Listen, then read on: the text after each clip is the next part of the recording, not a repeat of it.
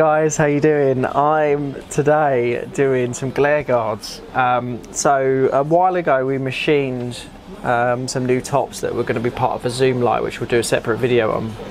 Basically this, and uh, this is the initial design for the glare guard, like this uh, sort of thing. So what I'm doing at the moment is we're just tweaking the design um, so that it provides a better overall finish. So this one, uh, well, it's still a bit of burr on there, but Max suggested putting a chamfer on there, which is what I've just done. Um, I'm just trying to get rounded corners around the top edges here, um, and then hopefully we need to just last thing we need to do is start checking O-ring fit on here because basically this is held on by an O-ring, and then hopefully that'll be the glare guard done. We'll see.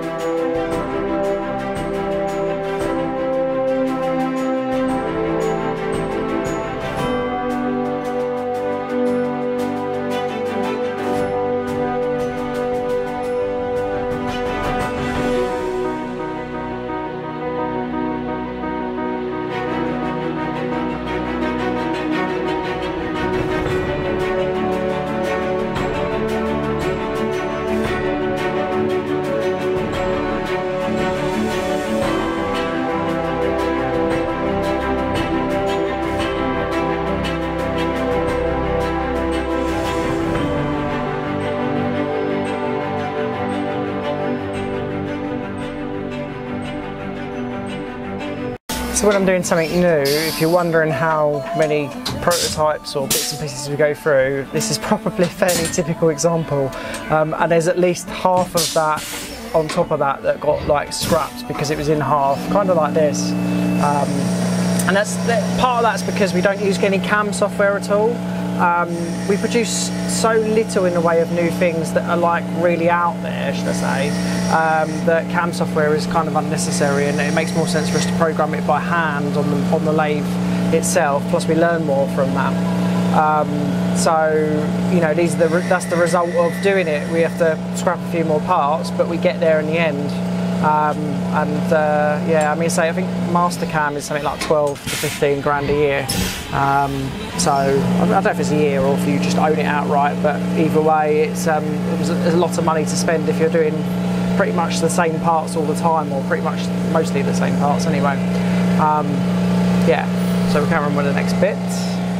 Right, so here we have a new mocked up top. Now it is only mocked up, um, but basically just give you an idea again of that shape that we talked about in the stories.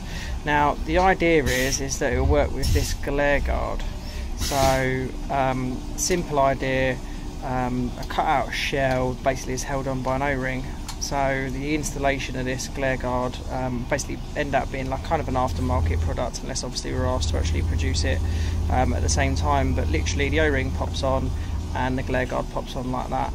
So it gives you that kind of glare operation and you can then rotate it if need be from the main head which is obviously quite useful so that's where we're at at the moment so guys it is about half ten in the evening on Thursday night and um, I'm just finishing off Louise Tarling Electricals um, uh, spike light that's going to have the um, glare guard on it. So um, this this fitting was underwater in that tank uh, for a little over 24 hours, um, and I think what I'll do is I'll put in some of my Instagram stuff to show you what was going on there. And of course, the last and most important test, aside from obviously, I think I need to clean this tube, is the two meter underwater test. Yeah. So we'll leave that overnight and pick that up at some point tomorrow evening. And that's what you like to see. It's completely, oops, completely and utterly dry. So yeah.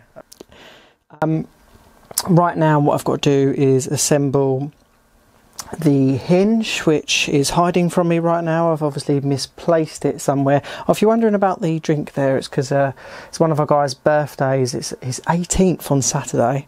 Um, so I'll be treating him early tomorrow um, with a few ciders and he likes his coffee as well. So um, we've got some we've got an espresso machine in here so we've got him some uh, decent capsules for it. Uh, hopefully, they're decent anyway. I don't know.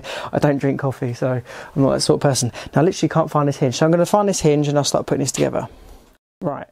Um, so we've got our what we call the T insert and our spring that goes in the top here, and that just pushes down. And that just gives us something smooth for the ball joint to to run against. And then we have a insert which we've both we've machined a few times and we've also 3D printed. And I'm just trying to see if I can find one of the ones that are 3D printed because here's one. There's an example. Um, basically, because the 3D printed ones are a bit kinder on the cable.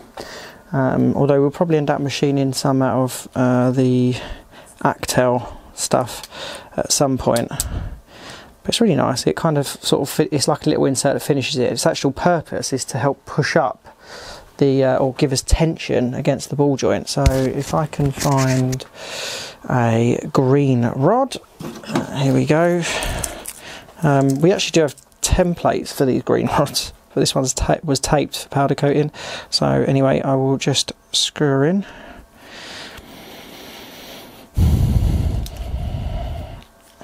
That's it that's that bit together. Um, and it's as simple as this lead just needs to run through here. I'll say it's simple and I won't get this through. No there we go we got it through. Um, and I just pull that nice and easy through there. So that right there is how the spotlights are going to look at the moment. Um, and that gives us the ability to put our glare guard. Oops, hang on a second. We don't do it like that. We do O-ring first, then glare guard, and put our glare guard on top, like so.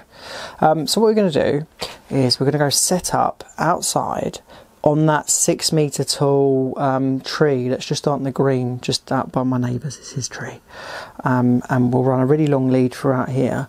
And we'll go get some video and also some photos, and um, I can show you what it looks like. I'm going to have to change the lens on the camera so it's going to get a bit narrower um, but it gives me a little bit more um, power with regards to what is going on there.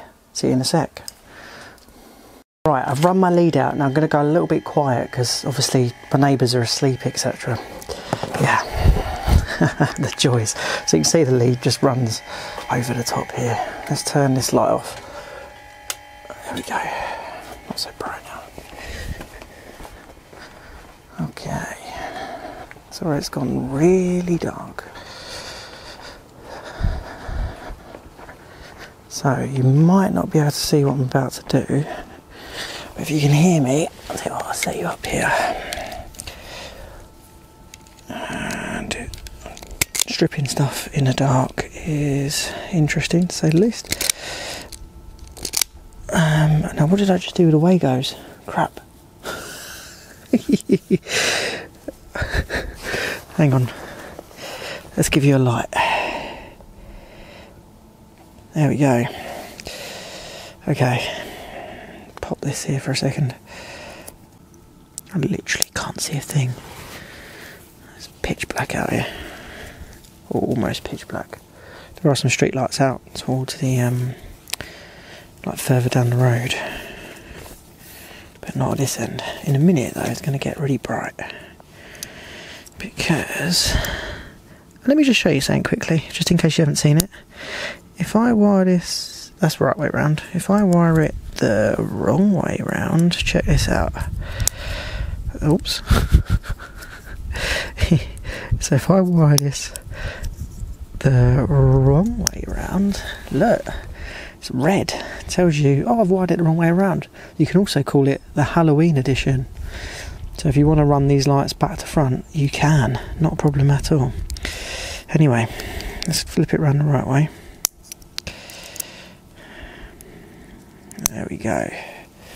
So, I reckon positioning wise, that is pretty good. So that's about one. Can't really spot this down because the ground is so hard, but that's about uh, a meter, 1.2 out, something like that. Hopefully, you can kind of see. So, what I'm going to do is I'm going to set the tripod up and um, we'll set the tripod up and we'll get these pictures going. Bear with. So this image I took is without the glare guard and this is with the glare guard. As you can see the light just disappears completely. It just makes perfect sense as to why you'd have one. This is the tree during the day um, without the foliage that it's got now.